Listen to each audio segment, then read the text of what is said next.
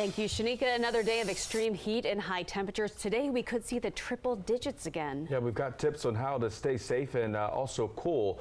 DC News Now, Jean-Marie Say is live in Montgomery County and Yama Reed, the, uh, the county rather, is under a heat emergency alert.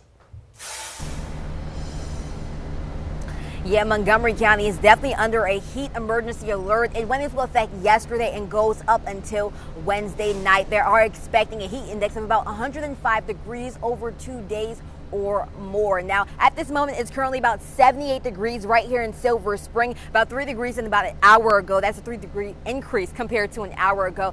Definitely starting to get extremely hot and a little humid around the area. I definitely got my handy dandy fan to keep me cool this morning. And we also have some safety tips to make sure that you stay cool throughout the day today as well. Now, with this extreme heat, that also means that there will impact your body's temperature to help regulate that. So we also want to make sure that there are also an increase of chance when it comes to heat illnesses. So, what can you do to stay safe? Well, you want to make sure that you're staying indoors. Try to keep your blinds or curtains closed. Take a cool bath or shower to help keep your body temperature down and cool off. Make sure you avoid strenuous activities that could cause overexposure, or you can actually go during the coolest part of the day, which is now during the morning time, and take breaks in the shade as much as possible. Stay hydrated as much as you can. And one person that we spoke to today that was on their way to work says the past couple of days the heat has been a lot and he's not looking forward to today.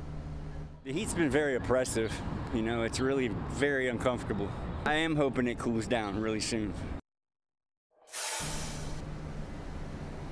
Now, the Montgomery County Health Department is passing out tabletop fans to those to the elderly and also those with disabilities. So if you are interested in getting one, there is a limited supply, but you can find more inf information on our website, dcnewsnow.com. For now, I'm going to try my best to stay cool while I'm out here this morning, and I hope you guys do as well later on today. For now, reporting live in Silver Spring, I'm Yama Marisa Say, DC News Now.